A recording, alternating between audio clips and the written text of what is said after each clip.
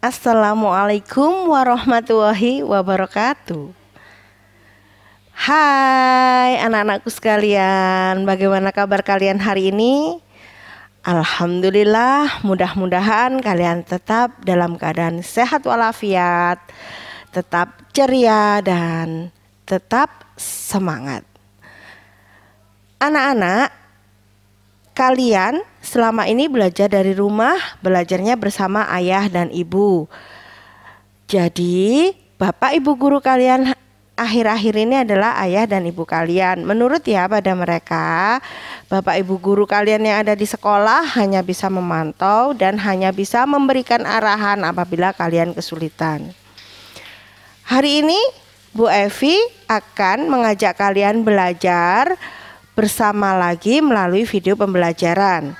Sebelum pelajaran kita mulai, mari kita berdoa seperti biasanya supaya apa yang kita pelajari hari ini bisa menjadi ilmu yang barokah dan manfaat. Ila hadratin Nabil Mustafa Sayyidina Muhammadin sallallahu alaihi wasallam wa ala alihi wa aswajihi wa dzurriyyatihi sayyulillahi laumul Fatihah. A'udzu billahi minasyaitonir rajim. Bismillahirrahmanirrahim. Alhamdulillahi rabbil alamin. Ar-Rahmanir-Rahim. Maliki yaumiddin. Iyyaka na'budu wa iyyaka nasta'in. Ihdinas siratal mustaqim Swiratal ladina an'amta alaihim Ghairil maghdubi alaihim walabdallin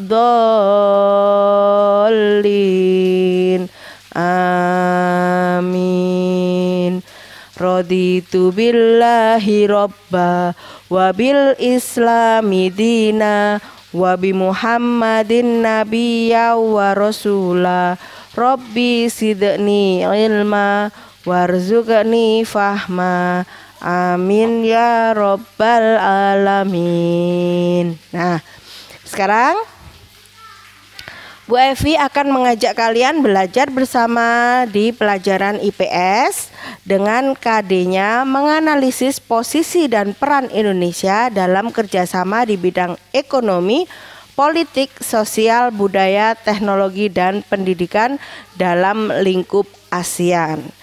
Ini sudah pernah kita pelajari juga di semester 1.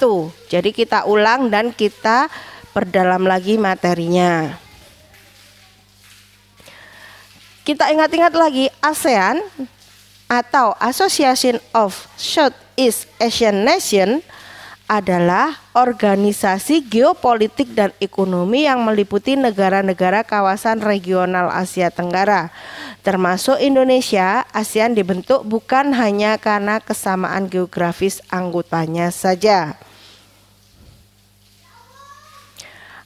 ASEAN dibentuk karena adanya keinginan kuat negara anggota untuk membangun kerjasama yang erat di bidang ekonomi, sosial, termasuk pengembangan kebudayaan masing-masing negara anggota.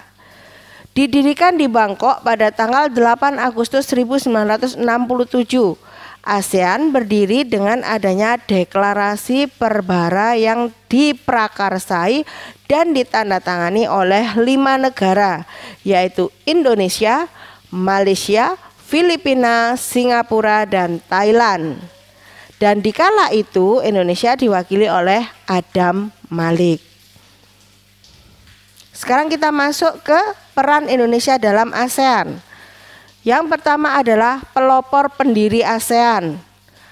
Artinya Indonesia yang diwakili oleh Adam Malik menjadi salah satu negara pelopor pendiri ASEAN selain keempat nama pendiri ASEAN yang lain. Peran yang kedua yaitu salah satu pemimpin ASEAN. Artinya pada saat kepemimpinan Presiden Soeharto, Indonesia pernah menjadi salah satu pemimpin ASEAN.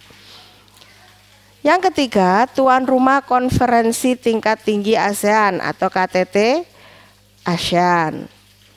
Indonesia sebagai negara anggota ASEAN sudah mendapatkan kepercayaan untuk mengadakan KTT ASEAN. Ada beberapa kali KTT ASEAN diadakan di Indonesia. Waktu itu yang pernah adalah di Jakarta dan di Bali. Seperti di cetusnya adanya MEA, Masyarakat Ekonomi ASEAN, itu juga pada saat KTT yang ada di Indonesia. Kemudian yang keempat adalah menciptakan perdamaian di kawasan Asia Tenggara. Artinya Indonesia merupakan negara yang termasuk selalu aktif dalam membantu menjaga perdamaian dunia. Jadi di saat negara-negara di lingkungan ASEAN ini ada yang e, mendapatkan rongrongan dari negara lain, dia akan tentara-tentara Indonesia akan ikut untuk pengamanan di negara-negara ASEAN. Berikutnya adalah peran Indonesia dalam bidang ekonomi dan bisnis yang artinya Indonesia juga terlibat aktif dalam pengembangan startup bisnis. Jadi di sini Indonesia selalu aktif dan berperan di bidang ekonomi dan bisnis. Yang keenam, peran Indonesia dalam memastikan kesentralisasi ASEAN yang artinya negara Indonesia ini mempunyai peran penting dalam memastikan sentralisasi ASEAN atau Association Southeast Asian Nation. Lanjut, masih ada empat lagi peran Indonesia dalam ASEAN. Yang ketujuh adalah pendirian pusat studi studi ASEAN di berbagai wilayah di Indonesia negara Indonesia melalui Kementerian Luar Negeri terus membentuk dan menggerakkan pusat studi di ASEAN. Jadi di negara ASEAN ini, di organisasi ASEAN ini, negara-negara yang bergabung di ASEAN ini ada istilah pertukaran pelajar. Pertukaran pelajar ini nantinya misalkan seperti pelajar Indonesia dia akan dikirim ke Brunei, dikirim ke Malaysia, dikirim ke Singapura untuk apa? Untuk belajar kebudayaan-kebudayaan yang ada di negara tersebut. Sama juga dengan negara-negara yang lain, misalkan Singapura mengirim pelajarnya untuk belajar ke Indonesia. Dan di sini negara Indonesia memberikan tempat-tempat atau pusat-pusat pembelajaran yang nantinya untuk menampung eh, pelajar-pelajar uh, atau studi student-student yang dari luar itu untuk belajar di lingkup ASEAN. Yang berikutnya adalah peran Indonesia dalam pengawasan narkotika. Artinya menjadikan seaport, seaport itu artinya pelabuhan sebagai daerah perbatasan pengawasan narkotika dan prekursor narkotika selain airport dan Indonesia sebagai salah satu inisiatornya. Jadi biasanya perdagangan narkotika itu sistemnya penyelundupan. Dia biasanya akan turun itu di bandara ataupun pelabuhan. Jadi Indonesia mempunyai inisiatif untuk memberhentikan atau memutus mata rantai pengedaran narkotika ini selain kita hadang di bandara juga kita harus hadang juga di daerah pelabuhan. Yang kesembilan adalah peran Indonesia dalam bidang maritim. Kita kenal Indonesia adalah negara maritim. Kenapa negara maritim? Karena lebih luas daerah perairan dibanding daratan. Nah, dengan adanya kondisi geografis Indonesia yang menjadi negara maritim, Indonesia sangat berperan di bidang maritim. Yang pertama adalah Indonesia selalu berupaya aktif buat mendorong penguatan kerjasama keamanan maritim terhadap negara-negara lain. Ya, nih. Yang ke sepuluh atau yang terakhir, Peran Indonesia dalam memberikan bantuan kemanusiaan, artinya Indonesia aktif dalam menjaga perdamaian dan kawasan ASEAN. Jadi Indonesia selalu aktif memberikan bantuan ke negara-negara yang lain. Misalkan di negara Malaysia atau Singapura mendapatkan musibah bencana alam, di negara Indonesia pun akan digerakkan untuk memberikan bantuan atau support kepada negara yang mendapatkan musibah. Itu tadi 10 peran Indonesia dalam ASEAN. Akan tetapi masih banyak lagi peran-peran Indonesia selain yang ke-10 ini. Kalian bisa mencari sendiri informasinya, boleh lewat Google, internet, berita-berita di televisi, koran atau majalah apa pun terserah untuk menambah wawasan kalian. Karena tidak semua informasi bisa kalian dapatkan dari sekolah. Yang berikutnya adalah kita langsung masuk ke kesimpulan. Kesimpulannya apa? Indonesia termasuk salah satu negara yang menggagas dibentuknya organisasi ASEAN. Karena pelopor pembentukan organisasi ASEAN tadi ada empat negara. Diingat-ingat Indonesia, Malaysia, Singapura dan dan apa anak-anak? Coba diingat-ingat sendiri.